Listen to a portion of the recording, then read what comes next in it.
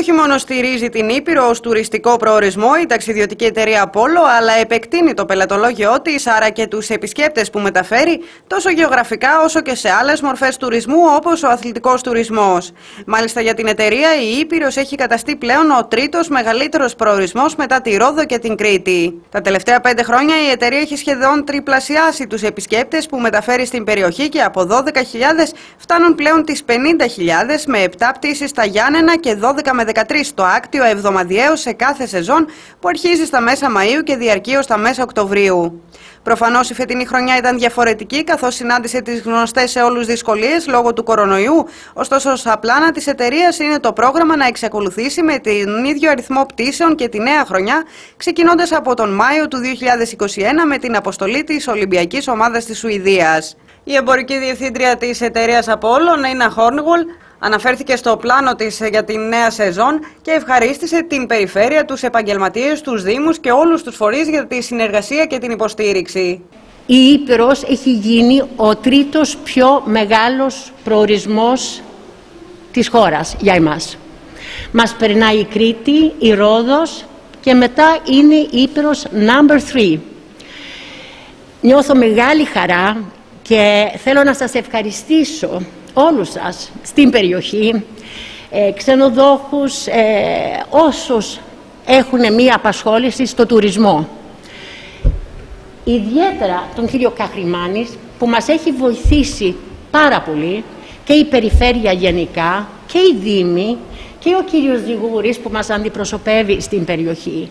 Δεν θα ήταν δυνατόν να μεγαλώσουμε μια περιοχή από 12.000 κόσμο μέσα σε 5 χρόνια ως σχεδόν 50.000.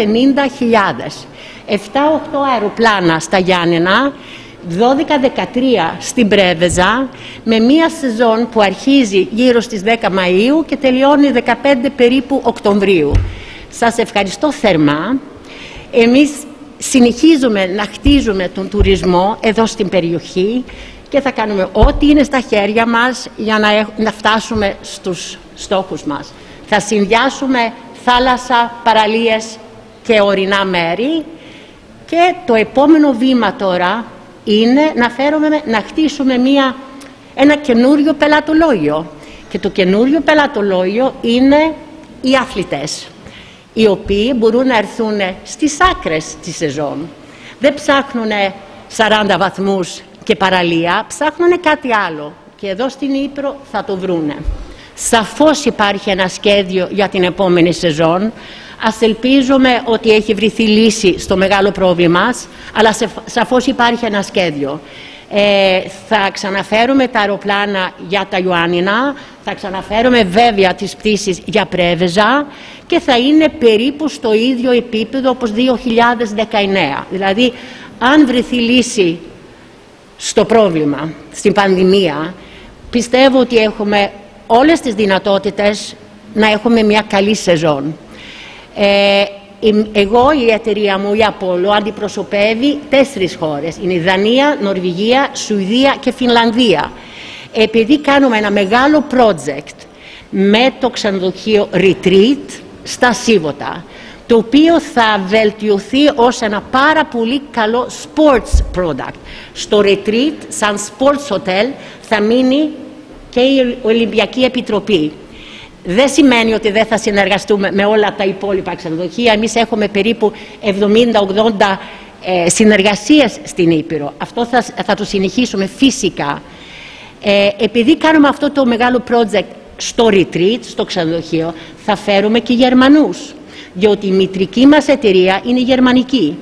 Θα φέρουμε και Άγγλους. Δηλαδή, το, το φάσμα, η βεντάλια, μεγαλώνει.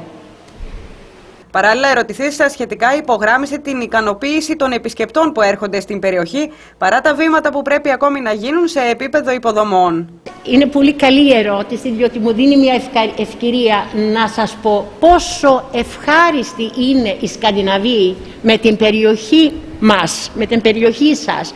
Πόσο ευχάριστοι φεύγουν από εδώ. Ε, αν εγώ προσωπικά είμαι ευχαριστημένη, δεν παίζει μεγάλο ρόλο, αλλά αυτό που παίζει ρόλο είναι τι λένε οι πελάτες όταν γυρίζουν στις χώρες τους. Είναι πάρα πολύ ευχαριστημένοι. Αυτό δεν σημαίνει φυσικά ότι δεν έχουμε πολλή δουλειά μπροστά μας.